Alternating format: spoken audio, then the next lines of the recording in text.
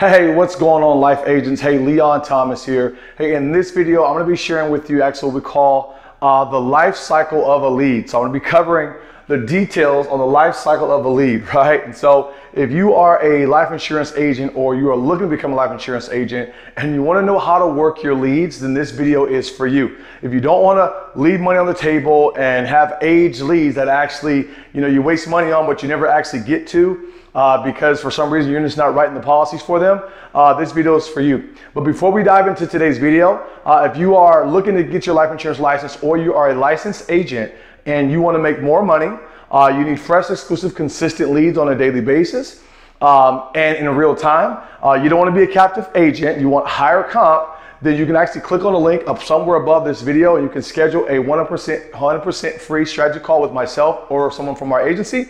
And we can actually get on a call with you and strategize on your game plan and see if it's gonna be a good fit for you and how we can actually help you out. So with that being said, of course, let's go ahead and dive right into today's video, right? So uh, the whole purpose of this video that I, I'm doing this video here is because a lot of agents are actually that are joining the life insurance industry. Uh, they are misunderstanding exactly. They don't have the understanding of the mindset of the leads uh, that they're buying, if you are buying leads and how to work those leads. And so the whole goal is to literally understand call it the life cycle of a lead uh, because a lot of times we're leaving money on the table and it's simply just because we're not understanding our market. And what I'm gonna talk about right now is basically understanding, you know, the type of people that we're dealing with and how to actually work your leads. So if you're not, if you're buying leads, but you're not getting the money out of the leads, right? If you're buying leads, but you're not writing policies for these leads, um, this is, I'm gonna explain to you why and how you can actually eliminate that problem. Begin writing more policies on those leads, okay? For the leads that you're purchasing. So there's a few things that we wanna keep in mind uh, when you are buying these leads. It doesn't matter which platform you're using, whether it's Facebook ads, YouTube ads, Google ads, Bing ads, no matter where they're coming from, it's, it's important for you to understand um, what's going on with these leads, right? So let me give you an example. Um, so take yourself as an example, right? Everyone, we're all on the internet today, and we fill out forms for all kinds of different things, right? It could be insurance, for example. It could be solar. It could be for to get your gutters, you know, clean. It could be for a new roof. It could be for pest control. It could be for something for your kids right? And we all fill out different forms on the internet. And obviously, if you've been on online for a while, which most of us have, you probably start seeing ads about similar things, right? Because you've opted into some ad, you've gave them your name, email, phone number, and you know, obviously you're on their email list. And it doesn't mean that you weren't interested. Obviously, you had some sort of uh, interest, some level of interest, but you didn't necessarily opt in so you can get the call right away per se. Maybe you did, maybe you didn't. In most cases, we don't especially not on social. Uh, but either way, what ends up happening is life, right? So let's just say, for example, um, put these arrows here. Um, so you fill out a form on the internet and you opt in for some reason, right? For any, any, you know, it can be anything, right? I already covered the different things we opt in for. And you become a lead, right?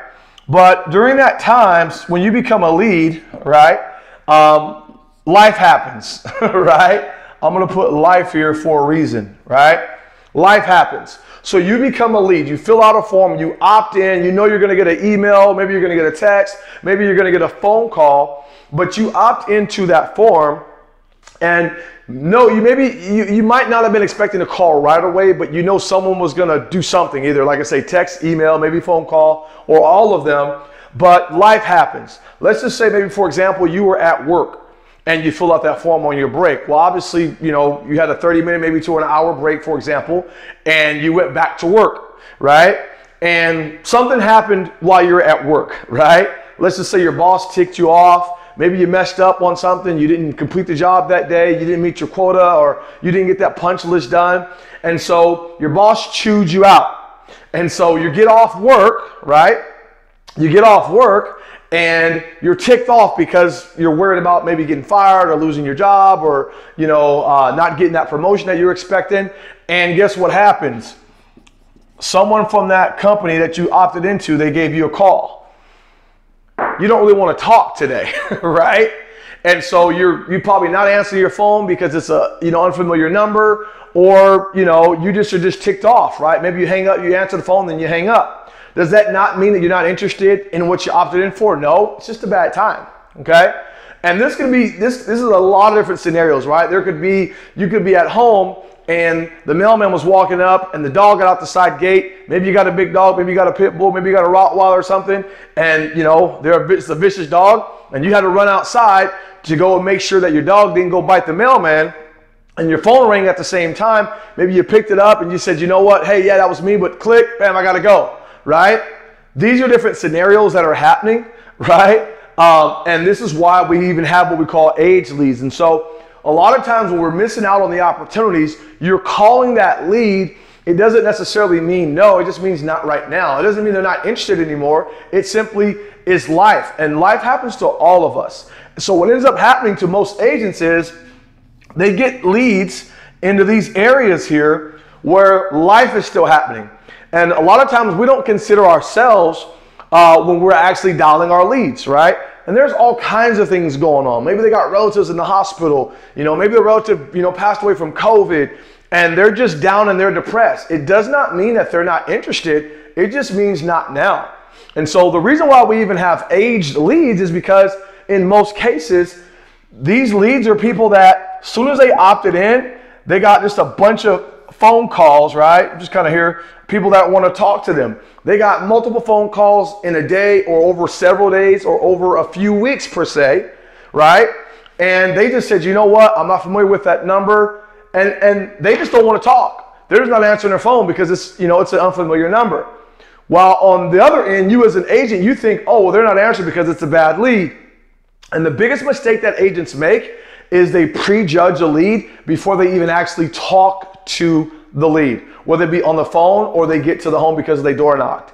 And that's the biggest mistake that you can make. I actually made that mistake before in thinking that, you know what, they didn't answer the phone, They're, they don't want it. But guess what?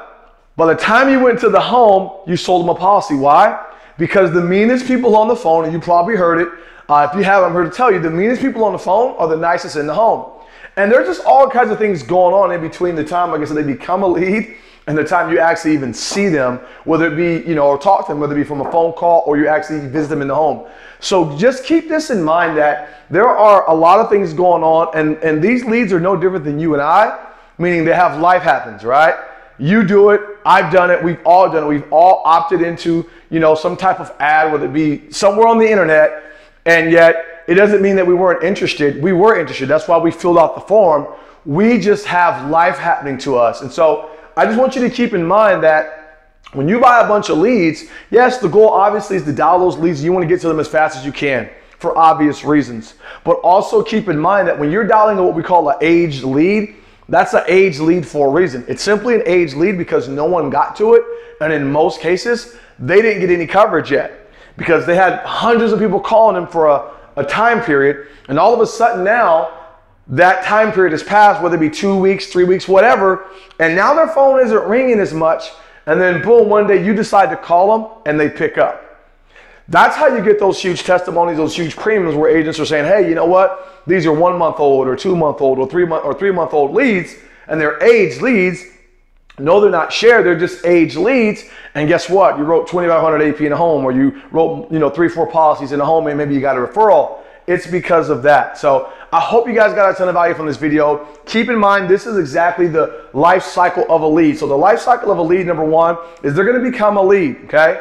A percentage of those leads are going to actually call. They're going to answer when you call them, okay? If they, um, you know, if they work, they, they may answer if you work. If they're not, they're home, they're to answer. They're more likely going to answer. If not, they're going to be home, okay?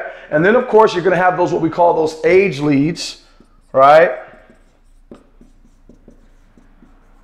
Okay? Those age leads that pretty much, you know, they're just waiting for that those phone call, multiple phone calls per day to die down, right? And then when you call them, maybe a month or so later, they're going to answer. Or if you go by the house, maybe on the weekends, a Saturday or Sunday, more than likely they're going to be home because they work and those are their days off. And the weekends are really the best days to go. Okay? So I hope you guys got a ton of value from this video. Just keep in mind, do not prejudge a lead before you actually get on the phone or you get to the home, I would say preferably, and you make that judgment there. Okay? You want to get in front of that lead, you want to get to that lead's house, and you want to talk to them there. Because more than likely, if you get to the house, there's an aged lead and no one's actually helped them out. If you're doing your job correctly, then you should write policies for those families, okay? So with that being said, of course, hope you guys got a ton of value. Once again, like I said, if you guys are looking to get into the life insurance industry or you are in the industry and you're not getting paid what you feel you deserve, you don't have fresh exclusive leads, you don't want to be a captive agent, you want day one renewals, you can actually click on the link above this video, schedule a 100% free strategy session with myself or someone from our team, and we'll hop on a call with you and we can see what options we have and how we can help you out. So with that being said, of course, hope you guys got a ton of value. You actually leave some comments here. Any questions you may have or comments or observations, just leave them here in the comments and I will personally respond uh, as I see them come in. So with that being said, of course, till next time, I'll see you guys on the internet. Take care.